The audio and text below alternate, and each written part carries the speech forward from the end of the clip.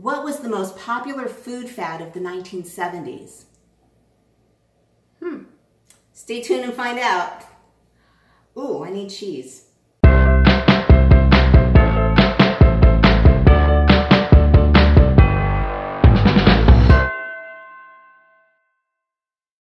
Hey everyone, welcome to Yester Kitchen. I'm Jill and welcome to the 1970s, the land of fondue. If you're having fun, please subscribe, like the videos, comment, and share with your friends. So fondue, why was it so popular in the 70s? Well, I'm gonna go a little further back in history and give you a little bit of information. So the first documented recipe was in 1599 and it was just to help people use up old cheese and old bread you know, before they couldn't eat it anymore. And melted cheese and bread, how can you go wrong? Now we're gonna get forward to 1964 in the World's Fair. Fondue was introduced in the Swiss Pavilion and it kind of took off. Not huge, but people started going, hey, melted cheese and bread? How can that be bad? But then there was the Swiss Cheese Union. That was a group of cheesemakers in Switzerland that really wanted to promote fondue. So they launched an ad campaign, a huge ad campaign. Take a look at some of the magazine pictures. See, everyone is sitting around, loving the cheese fondue, having the best time, dip, dipping their bread into it. And it was just promoted as fun. And you know what? It really was. So it started catching on. And the 1970s were coming off of the 1960s. So a lot of that culture was still there, like the communal and the free love and just everybody enjoying each other. So what was cheese fondue? Well, it was communal, it was sharing, it was, you could sit on the floor and have dinner. It was social, it was do it yourself, and there were rules. But the rules were for fun. You never wanted to lose a piece of bread and the cheese because you would either have to pay for dinner, buy a round of drinks, kiss the person to your left, kiss the person to your right, or the table would decide what you had to do. So depending on what you wanted or not, you would or would not lose that piece of bread and the cheese. But we're gonna get to a really easy Swiss cheese fondue recipe, and this is the classic 1970s. There are so many cheese fondue recipes now, but let's focus on the classic. So the classic Swiss cheese fondue can be made with three different versions of Swiss. There's regular Swiss cheese, there's Gruyere, and there's Emmental. All of them have varying degrees of hardness and nuttiness and depth of flavor. You're gonna need one pound of cheese for this recipe. I've chosen to use a half a pound of Swiss and a half a pound of Gruyere, but mix it up, use just one, taste the cheese first and see what you like. So we're gonna start with this big bowl and I'm gonna add half a pound of Swiss, you want that nicely grated up and you do want it at a reasonable room temperature so it starts to melt pretty easy. And half a pound of Emmental. Get these out of the way. We're just gonna mix those up a little bit. Now you're gonna add two tablespoons of cornstarch. And you just wanna toss that around. Make sure it all goes in there. This is your thickening agent. And you just wanna toss it around, which is kind of fun. And you just want to make sure that all of your little cheese shreds are totally coated with the cornstarch. And that way you won't get like blobs of cornstarch because no one wants a blobby fondue. And now we're gonna get this out of the way. And we're gonna bring this classic, gorgeous, you know what this is. And if you have one, you know. It might be up in your attic, it might be up in your parents' attic, but in the 70s, everybody owned one of these. Today, it's making a comeback, so you can get a fondue pot. You can buy an electric fondue pot. If you don't have either, it will work fine in a regular saucepan on the stove, like medium low heat. You'll be fine, trust me. So the first thing we're gonna do is we're gonna take a clove of garlic and we're gonna cut it in half. And you're just gonna wanna rub your fondue pot all the way around with this garlic. You don't wanna leave it in. You just want like a very mild flavor. And when you cook your fondue, it'll pick up the garlic. Okay, now we're gonna light the fire. Got my sterno right here, there goes all the flames. Okay, and to that, we're gonna add one cup of white wine. You want a dry white wine. I like Chardonnay, And please don't buy the $2.99 wine if you don't like the flavor because you're really gonna taste the alcohol in this. So get something you like. So in goes our wine. And we're also gonna add one tablespoon of fresh squeezed lemon juice. And now you're gonna let that sit until it just comes to a simmer. Okay, so now our wine and our lemon juice are simmering. I'm gonna try to give you a look. I know this is not the best angle. This is just the best I can do, but there you go. We're steaming, we're simmering. And now you're gonna start to add handfuls of your cornstarch coated cheese.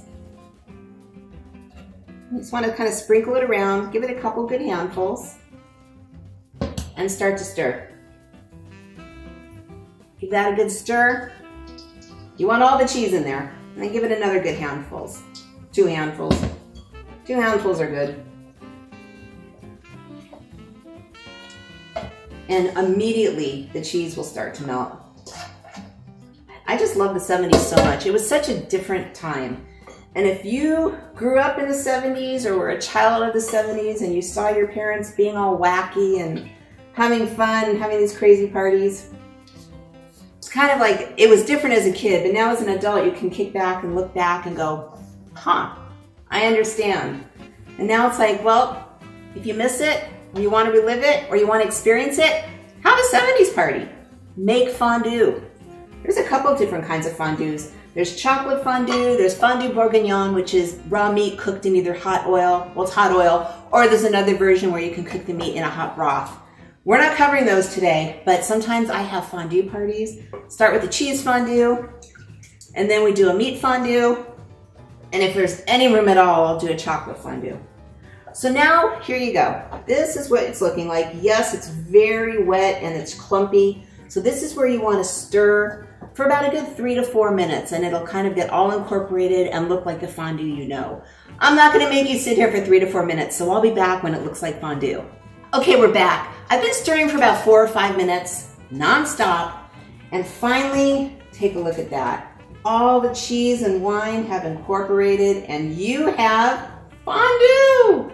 You're not quite done yet. You need two little additions to make it authentic fondue.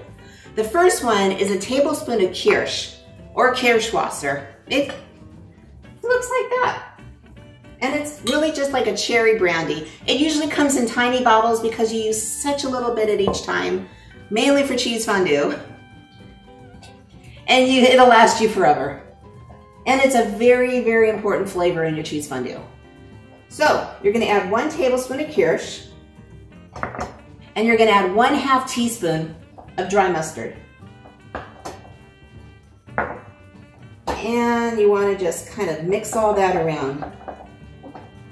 There is one more traditional addition, and that is a tiny pinch of nutmeg. And when I say tiny, I mean tiny because nutmeg can overpower this fondue like that. Gotta be honest with you, the only place I like nutmeg is in eggnog. So I'm leaving it out, it's my preference. But if you wanna see if you like it, just take a little fondue out, put a speck of nutmeg in, mix it around, taste it. If you like it, put literally a, like less than an eighth of a teaspoon in, like a pinch. Anyway, this is your classic cheese fondue. Look at that. It's perfect, it's gorgeous, and it's so good and it's so 1970s. So what we're gonna do is we're gonna cut down the flame a little bit and we're gonna talk about the dippers. So remove that out of the way. Very, very classic, classic dippers. Here we go. Cubed French bread, but you can really use any bread you want. Actually, what I've got here is half French bread and half ciabatta. Change it up a little bit. And then we have red potatoes. How did I make them? Just cube them up, cool them off, serve them at room temperature. They're fabulous. And last, we have cornichons and cocktail onions. Cornichons are tiny pickles, but don't get them confused with the sweet kind. They're very vinegary. Same with the cocktail onions. So that vinegar really cuts the fat in the Swiss cheese fondue. It's fabulous. So what is your favorite fondue? I don't know what I like. I, am a big sucker for classic, but there's just so many flavors out there. Let me know in the comments what your favorite fondue is and let me know in the comments if you have a fondue party. Try it, you'll love it. So now, we have our fondue. And all that's left is to skewer some bread. Oh, we should take our spoon out. And then when you serve it, you keep your flame on low and it'll be perfect. There we go. You just twist around. I'm not gonna eat it because I'm gonna burn my mouth. But here is fondue. It is so good. You gotta try it. So if you've had fun again, please subscribe, like the video, comment, and share with your friends. And tell me what your favorite fondue is, and tell me if you had a party. I would love to hear of it. I am on a mission to bring back the 70s because they were just such a crazy, wonderful time. So thank you so much for joining me. And as always, history has never tasted so good.